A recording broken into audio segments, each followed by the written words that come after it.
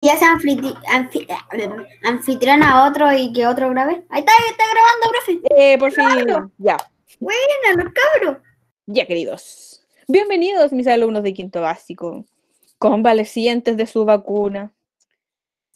Hoy nos toca la última clase del dossier 5.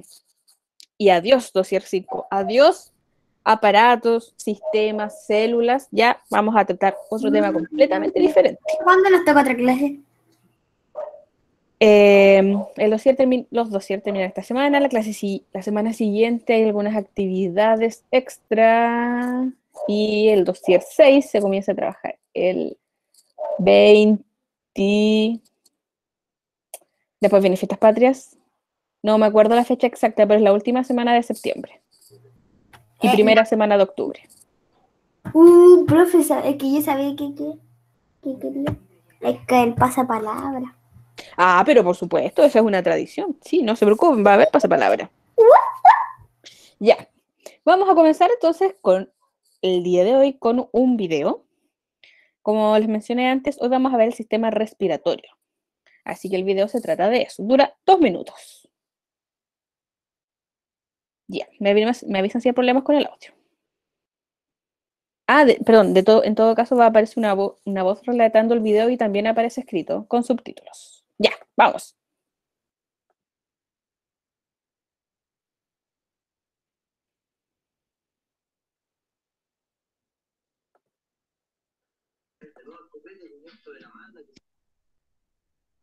Por si acaso no se escucha. ¿No se escucha? No. ¿Verdad? Por lo menos nosotros no lo escuchamos, profe, yo no tampoco. El sistema respiratorio es el encargado de extraer del aire que respiramos el oxígeno, un gas necesario para que nuestras células puedan vivir y desarrollarse. El sistema respiratorio también permite eliminar el dióxido de carbono que las células producen después de usar el oxígeno. Este proceso se conoce como respiración. La respiración es un proceso involuntario y automático. El aire entra por la nariz y se encuentra con unos pelillos que se encargan de humedecerlo, calentarlo y limpiarlo para impedir que la suciedad llegue a los pulmones. El aire continúa por la faringe, la laringe y luego pasa a la tráquea. Esta se divide en dos partes formando los bronquios que se encuentran dentro de los pulmones. Una vez dentro de los pulmones, el aire pasa por unas ramificaciones llamadas bronquiolos. Los pulmones son los órganos más importantes en la respiración. Cogen el oxígeno del aire y expulsan el dióxido de carbono que el cuerpo no necesita. Los alveolos cogen este oxígeno y lo pasan a la sangre para distribuirlo por todos los órganos y células de nuestro cuerpo. Por último, el diafragma, situado bajo los pulmones, ayuda a coger y llenar los pulmones de aire, inhalar. También a expulsar el aire que el cuerpo no necesita, exhalar. El aire que expulsamos contiene dióxido de carbono y sustancias de desecho. Además está caliente. Puedes sentir este calor si pones la mano en tu boca cuando expiras. El tabaco o la contaminación pueden dañar tu sistema respiratorio. El deporte o respirar aire puro son hábitos esenciales para cuidarlo.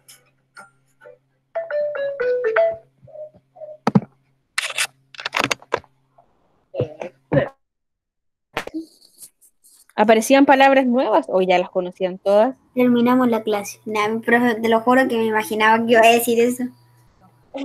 Te lo No, no.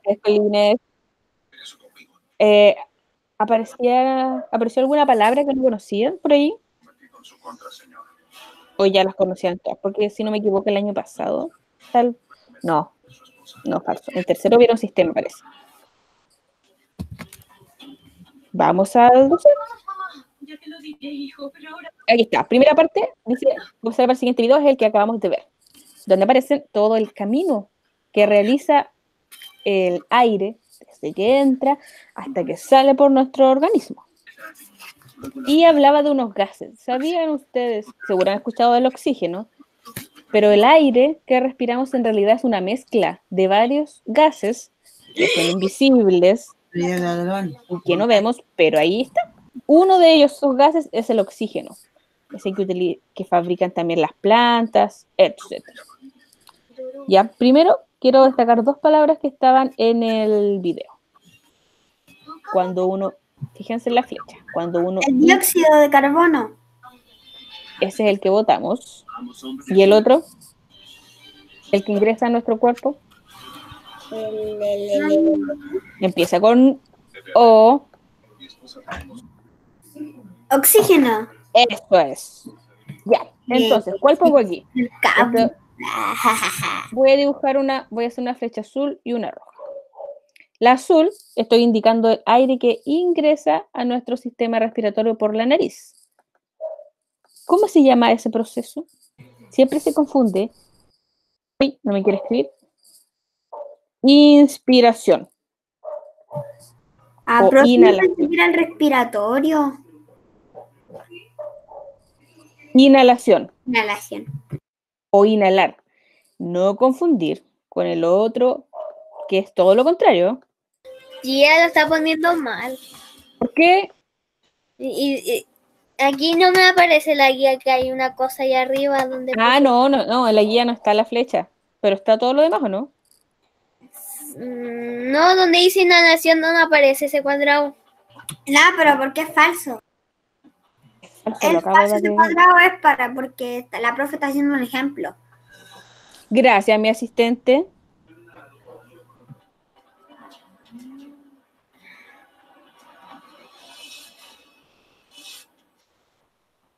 Ya.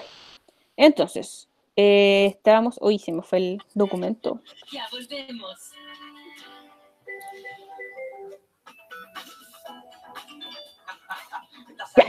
Cuando ingresa aquí en la flecha azul, el aire se llama inhalar.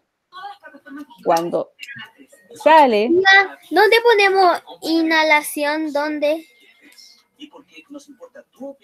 En la primera. eh, no, es un cuadrado diferente. En los No lo pongas, es un ejemplo. No lo pongas, es un ejemplo. Hola, Alonso, no lo había escuchado. Lo había leído solamente. Exactamente. Ya, a ver, ordenemos. En los rectángulos vamos a escribir, yo también lo voy a hacer, los nombres de las estructuras del, del aparato respiratorio. Casi dije sistema, pero ¿por qué no es sistema? Porque ocupa la mitad del cuerpo, no, no todo. Muy bien. Estas flechas y este cuadrado no están en el dossier. Las agregué para hacer la diferencia. Inhalar es ingresar aire por la nariz hasta los pulmones. Exhalar es botar ese aire hacia el exterior. ¿Cómo los puedo recordar y no confundir? Inhalar es, empieza con in, es ingres- ingresar aire al interior de nuestro cuerpo. Exhalar, que empieza con X, es expulsar aire al exterior, o sea, nuestro ambiente. ¿Qué tal? Comienzan igual y así no se confunden. Lo voy a escribir abajo. Inhalar, ingresar, interior. Inhalar, exhalar. Inhalar y exhalar era como decía. Inhala, exhala, inhala, exhala. Eh, hacen eso en educación física, ¿no?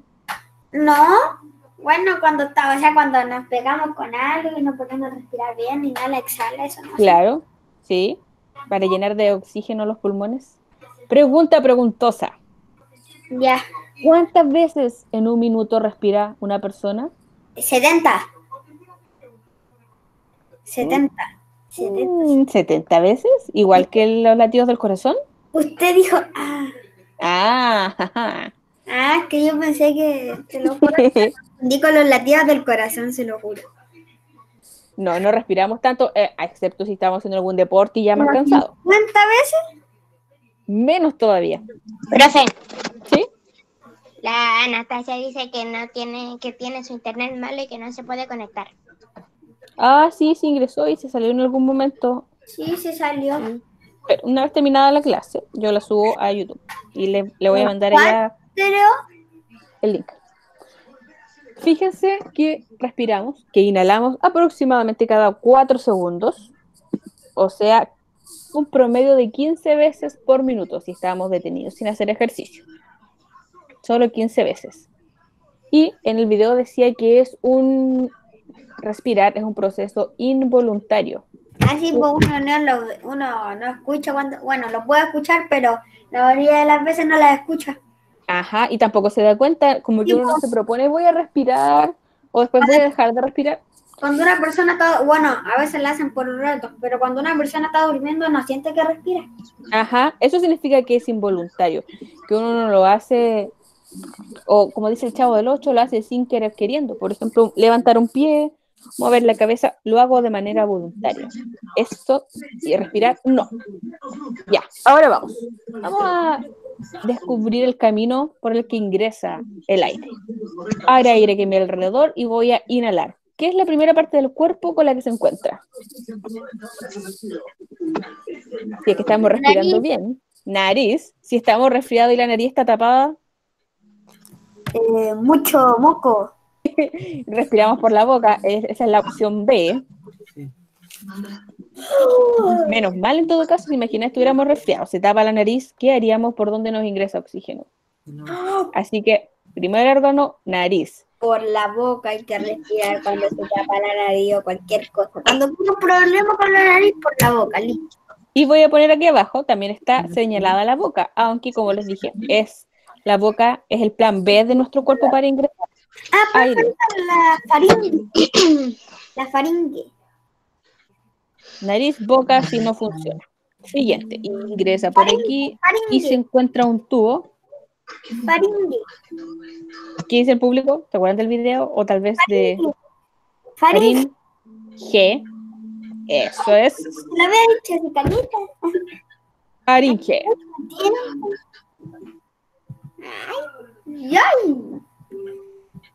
Muy bien, mi asistente, como siempre. Sigue bajando este aire. ¿Se fijaron que la nariz, a veces uno se pregunta, ¿para qué sirven los pelitos de la nariz? Atrapan, no sé, polen si nos da alergia, partículas de polvo, calienta también en este camino el aire. ¿No les pasa en invierno que hace mucho, mucho frío? El aire está muy frío con grados bajo cero y les duele la nariz al respirar. ¿Les ha pasado? Les da como una cosa extraña en la nariz y duele porque el aire está demasiado frío. No, profe. Ay, no. A mí sí, bueno, ahora que me, vivo en la región metropolitana, eso a los que nos ocurre es porque la nariz calienta el aire para que no afecte a los pulmones. Ya, seguimos entonces, el aire ingresa por la faringe y llega a un órgano doble que hay en nuestro cuerpo. Pulmones. Afortunadamente también hay un plan B en este caso. Si un pulmón falla, tenemos el otro. Si no, no podríamos vivir.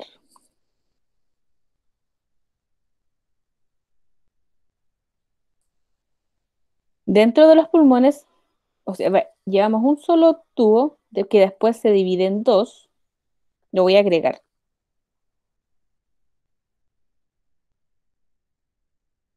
Bronquios. ¿Alguna vez le ha, cuando han estado enfermitos, han ido al médico y le han dicho que tienen bronquitis?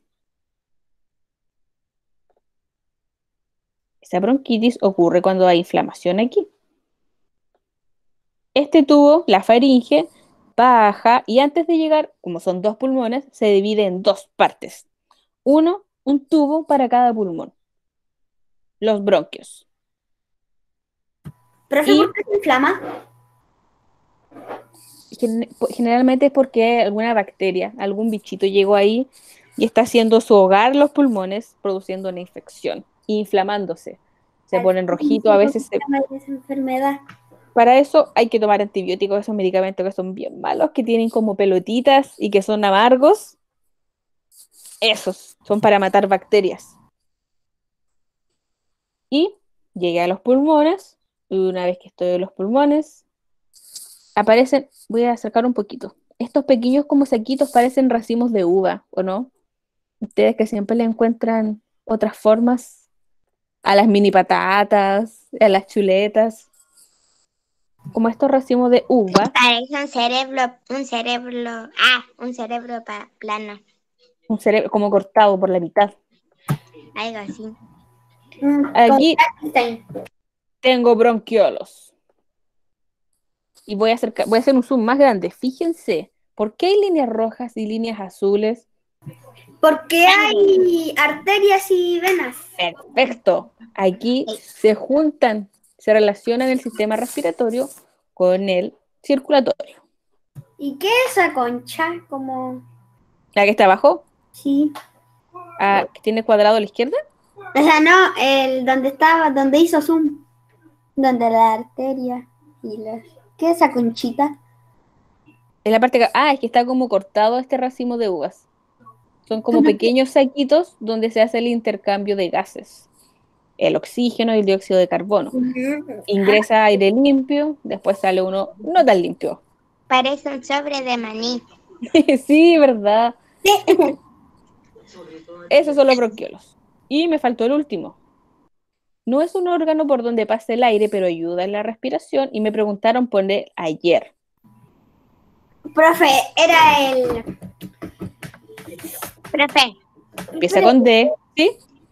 eh, a mí no me aparece el cuadro de los bronquios. Agréguelo encima nomás, no hay problema. Ok. ¿Se acordaron o no? Empieza con D. Espérate, preguntaron profe, ¿de qué ayer. De estómago. Ah, diafragma. Esto, diafragma. Días martes. Este es un músculo que está abajo. ¿Ya? ¿Dos segundos para copiar? No, 30 segundos. Por mientras, Espérenme, que no tengo lápiz. sí, copio más. Por mientras, bien, Javiera. Entonces, la Javiera que terminó y a los que terminaron les voy a mostrar esto. No me veo. Espérenme, profe. Sí, no se preocupe. Miren lo que hice. ¿Se ve o no? Ahí. Hice un sistema respiratorio. Utilicé una bombilla, Nariz. la botella, em, Profe, se lo compro. Qué loco, tía. globitos. ¿Qué pasará si soplo aquí? Va a poder respirar. Tía, yo no la veo, se quedó congelada.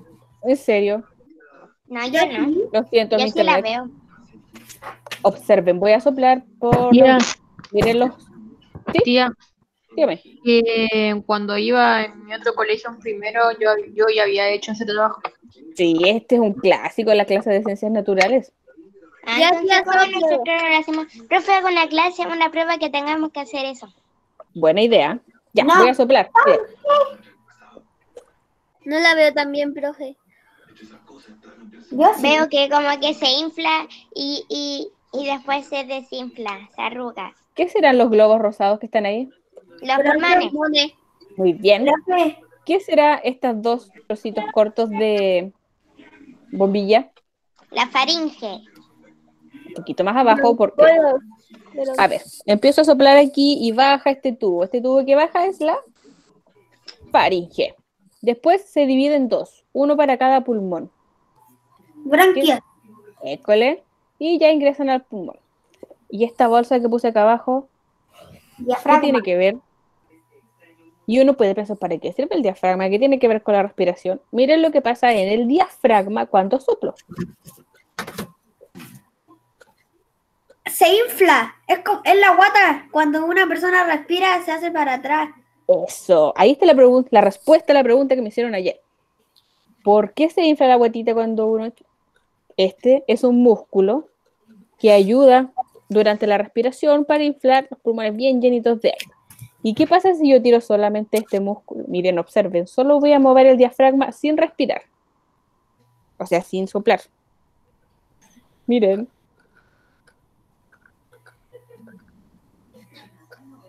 Igual hay movimiento de los pulmones, solamente moviendo el diafragma y sin soplar. Qué raro. Increíble, ¿eh? Sí. Así es nuestro cuerpo humano. Ahí está. enseñando a hacer eso, enseñando. Dígame que lo grabó. Que lo grabó. Está todo grabado, todo grabado. Eh, tiene que mostrarlo, muéstralo en los últimos 15 minutos. Claro, no es problema. Ya, oiga. Problem. Ningún problema. Ahora, a resolver las preguntaré. ¿Preguntas? ¿Preguntas? Están calladitos hoy día. ¿Será la vacuna? No. A mí me dolió. Si duele, claro, es un pinchazo que atraviesa las células, los tejidos de nuestro cuerpo. A mí me dolió por un segundo. A mí me A mí cuando me pincharon, yo que me iba a morir. realmente yo estaba a punto de darme vuelta y me la pusieron al fin, pero, pero era muy corto, era como, no era un segundo. Tía, a mí Me solo dolió, me, me me dolió un segundo. Claro, es el pinchazo lo que duele cuando la aguja atraviesa nuestras células. Aunque lo raro es que cuando ya me sacan la aguja todavía siento que la tengo adentro. Sí, pues se dañan las células, pero se recuperan rápido, sobre todo en niños. Ya, Yo, mi célula favorita. las células favoritas. Que son graciosas. Ya, queridos. Preguntas preguntosas. ¿Qué función cumple la nariz? Ah, lo sopló el video y yo también. Traer Respirar. para los pulmones. Respirar. ¿Qué más? Oler. Obtener oxígeno. Oler. ingresar oxígeno. Oler. Muy bien. ¿Qué más? Falta Oler una. las cochinadas de las cosas que hago cuando voy al baño. Sí, eso es un método de defensa del cuerpo. El sentido del olfato sirve para oler algo. Si algo huele mal, uno no se lo va a comer. Es como un- para Es como si yo no me comiera mi- mis necesidades. Claro. ¿Qué más hace la nariz? ¿Faltó algo? ¿Recuerden que les dije que tenía pelitos? Que a veces dolía la nariz. Sacar los mocos. Calienta y enfría eh, para que entre el aire. Muy bien, caliente el aire porque el aire frío haría mal a los Mucha profe, pulmones. cuando apretó sus narices pensé que era sacar los mocos. Tía, ¿Sí? Dígame. Tía, oiga, recién estaba en 2000, recién, ahora me salí. Antes de la clase, ¿cierto? No, pero igual Pregunta, ¿por qué cuando tenemos bronquitis? ¿cuál Bueno, es la la, franquia. Tía, igual estoy en la clase porque la, el parto para la mitad de la pantalla. Pero ¿cómo es posible? Cierra nomás, cierre, cierre. Se quedan poquitos minutos. Eh, Entonces, respondiendo a tía, la pregunta, la bronquitis, sí, es la inflamación de los bronquios, porque cuando una palabra termina en itis, significa que algo, lo de antes, la palabra de antes está inflamado. Entonces, bronquitis es la inflamación de los bron- bronquios. Adivinen cómo llama la inflamación de las amígdalas. Ok. Ya, cuando termina en itis es que algo se inflamó. Bronquitis es que se inflamaron los bronquios. Amigdalitis, que se inflamaron las... Profe, yo soy inmune a esa cosa porque yo no tengo amígdalas. ¿En serio? Sí. Es Amigdala. más común. Ya. Siguiente pregunta preguntosa. ¿Qué función Profe, cumple profe, el una diafragma? pregunta preguntosa muy Profe. Ayuda a respirar. Profe, una pregunta preguntosa con la preguntosa de la pregunta. ¿Sí? ¿Qué es más preferible tener amígdalas o no? Em, las amígdalas ayudan eh, como a atajar los, los virus o bacterias que pueden ingresar por la boca, también para que el aire no ingrese tan frío. Pero muchas personas han vivido años sin amígdala y no, no tienen problema. A veces se inflaman Profe. demasiado. Sabe que hace poco me enteré que era como, eh, no sé cómo lo digo, esa gomita que estaba flotando y me decía hola cada rato mi lengua. Esa cosa que está como al entrar a, al, al faringe. Esa cosa que se mueve. La Es como una epiglotis, como una campanita que está por Sí, dentro de la cosa. boca. Me acabo. ¿Esa es la Sí. amígdala? No, eh, las amígdalas están eh, por la al final de la boca, pero son dos esferas que están hacia los lados. Ah, la en un espejo las amígdalas. Esa cosita que cuelga dentro de nuestra boca. La epiglotis, me la faringe. ¿Para qué sirve esa cosa que cuelga dentro de nuestra boca? Ayuda para tragar, para la deglución. profe, ¿significa que todavía tengo esa cosa colgante? Sí, la del centro sí, las amígdalas están a los lados. Esas son Ay, las ya que me sacan. estaba asustando. ¿Dónde está, La profe? campanita que está arriba ayuda para, para tragar y dirigir la comida y que no se vayan para el otro camino. El camino. ¿No les ha pasado? Confiesen que les ha pasado que a veces tragan y se ríen o están hablando y se les va la bebida o el jugo por la nariz. Profe, Nunca no me me traiga malos pasado. recuerdos, por favor. Confiésenlo. A mí me ha No me traiga malos recuerdos, por favor. Me he pasado agua por la nariz. Profe, no me traiga malos recuerdos, por favor. Perdón, lo siento. Es que y me pasa con la me bebida. pasó algo. Y con la bebida es terrible porque tiene gas. Ya, sigamos. me sale como gas por la nariz, como moco. Es muy molesto. Qué asco eso. Sí, es que el sistema respiratorio y el digestivo no tienen nada que ver. Profe, ¿Ya? ¿Sí? yo no tengo amígdalas. Tampoco. No, me las sacaron cuando chico. Son, son un órgano media. Bueno, todos los órganos son importantes, Profe, pero le no voy, es. a- le- le voy a 100% decir necesario. algo. Cuando estaban a punto de también era chico y pensé que me iban a, a- a- a sacrificar, me iban a, a matar. Sí, lo bueno es que cuando le sacan las amígdalas pueden comer harto heladito y jalea. Ya, volvamos a ver, nos quedan tres, cuatro preguntas preguntosas. Pero Cuatro. Tía, le cuento Perdón, una, una cosa. ¿Sabía que la jalea está hecha de huesos? Así dicen, pero yo no tengo la certeza, la verdad. ¿Qué? Pero Por eso cuando, cuando nos operan nos dan mucha jalea porque eso tiene proteína. Pero hueso no tiene proteína.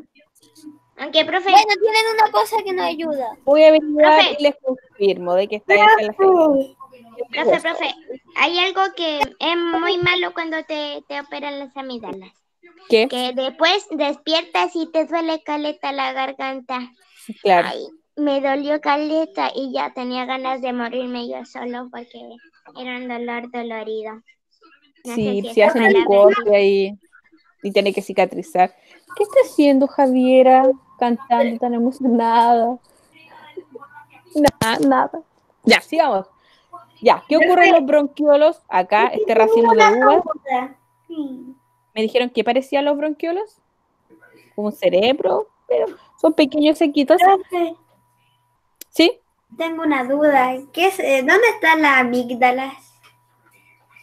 Al final de la... Si se ven en un espejo y iluminan, al final de la boca, antes de llegar sí, al, al fondo, hay dos pelotitas pequeñas, una a cada lado. Está por el centro del orificio, que va a la faringe, y a los dos lados están las amígdalas. Ahí. A ver, voy a Em, mirarme al espejo. No son 100% lisas, tienen como pequeñas pelotitas, a veces cuando se ponen, se inflaman, se ven rojas y feas, y a veces tienen puntitos blancos de infección.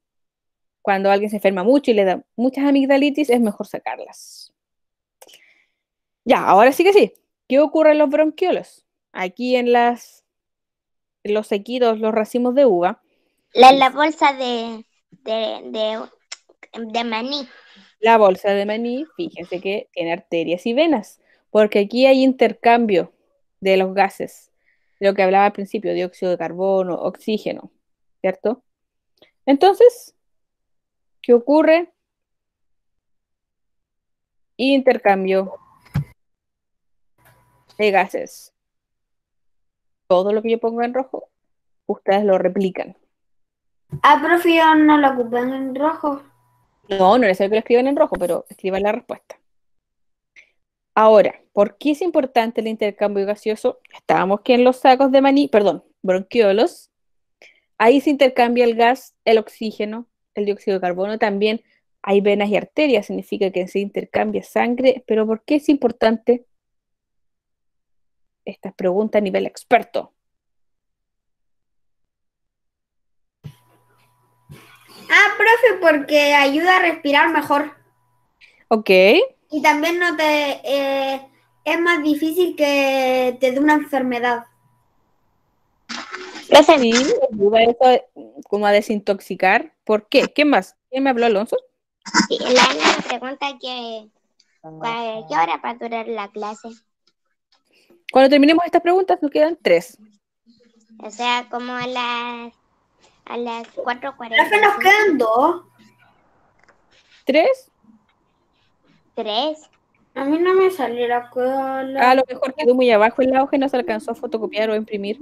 Ah, entonces no hago eso. No, sea fresco. Ya. Es importante este intercambio de gas.